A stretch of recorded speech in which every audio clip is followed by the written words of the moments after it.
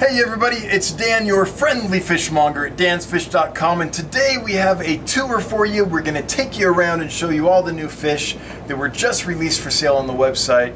Lots of neat stuff to tell you about. Three kinds of rice fish, a couple cool cichlids, um, hill trouts, which are amazing, and my favorite platy of all time. I know platies are a dime a dozen, but these are something special.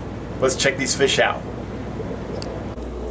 All right, here are the hill trouts. This is Barilius bakeri, I believe is how you say the scientific name, the blue spotted hill trout. I'm thrilled to have these. They look fantastic. They're eating well. There wasn't a weak fish in the batch. They came in just doing doing great.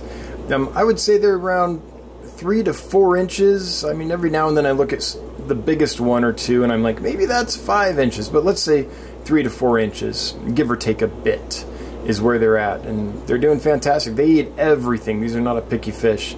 I think they're going to be very easy to keep. Just keep the water clean, keep it well oxygenated because they do come from flowing streams.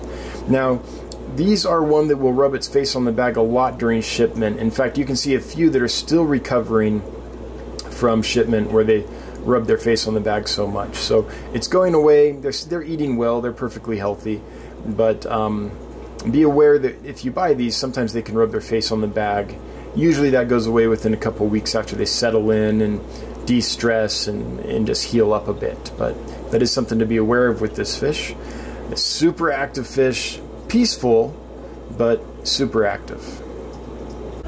All right, these are my favorite platy ever. These are the neon yellow calico platies. Why do I like them? Well, just look at them.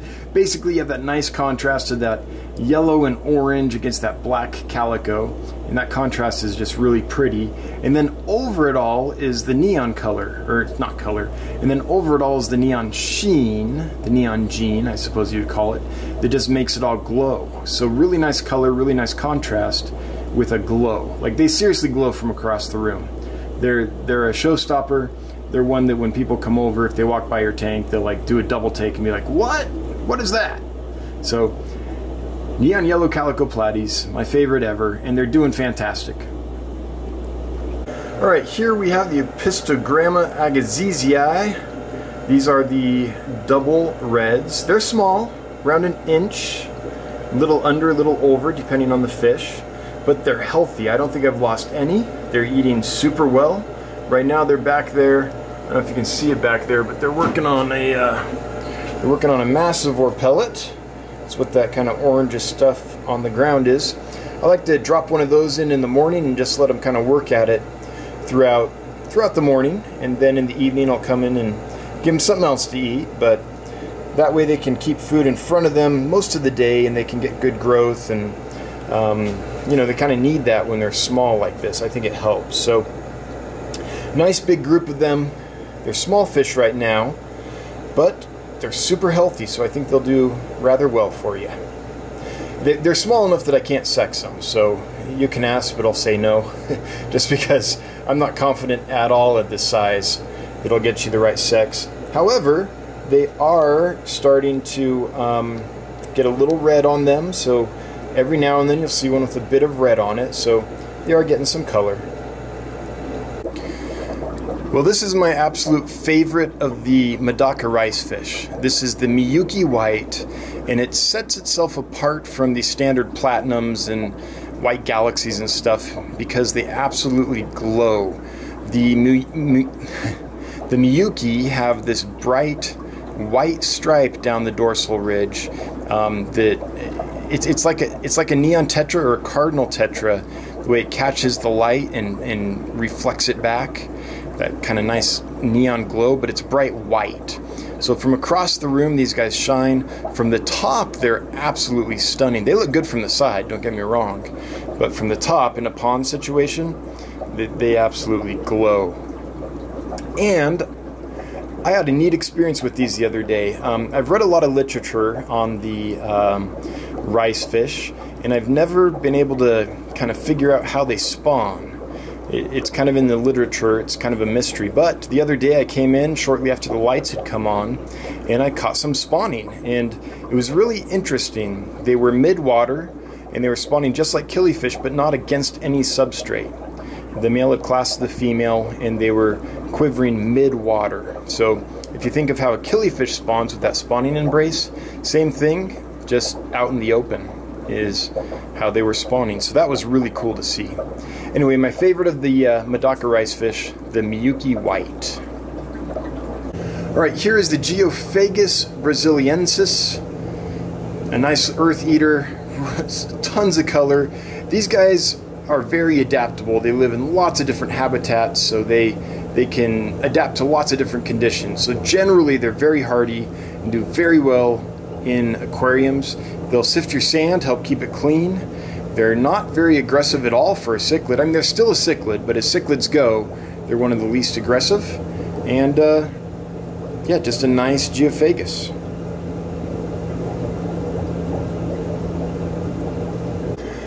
I think my favorite barb ever is the drape fin barb. I also like a really nice colored Odessa barb quite a bit. So these might not be my absolute favorite, but they're right up there. They're close to the top. These are the Dwarf Golden Barb. Max size is about an inch and a half. Some of them only get to about an inch, depending on the sex and things like that. Um, the reason I like them is they have all the color and personality of a barb, but without the aggression and the uh, food aggressiveness either. So they're a very nice, peaceful, small community fish they do great. They're not going to outcompete most fish. In a group, there's neat behaviors, and their colors pop out, and they're more outgoing. If you only get a few, they're going to hide more. But in a group, they're out and about and looking good all the time. And again, really peaceful fish. So all those problems you have with tiger barbs and the like, you're not going to have with these as far as aggression goes. This batch is exquisite. I mean, they're they're fat, they're healthy, they're eating well, they no problems at all. Just rock solid from the get-go. So if you've wanted this fish, this might be a good chance to get a nice group because they're they're doing great. Okay, these are the Amapa redback angelfish.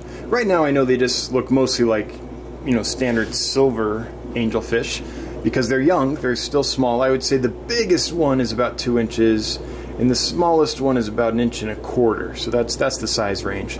But as they grow up and mature, they're going to get nice red up across the top section of the fish from from around the eye up through the the dorsal or up to the dorsal fin. So they're really unique looking fish one that a lot of people really like because of that red color, and they come from the Amapa region. Now, there are three in here that have wonky ventral fins. Um, I don't know if that happened during shipping or during raising or what, but I'm aware of it. I won't be sending you those, so never fear. I'm aware of them.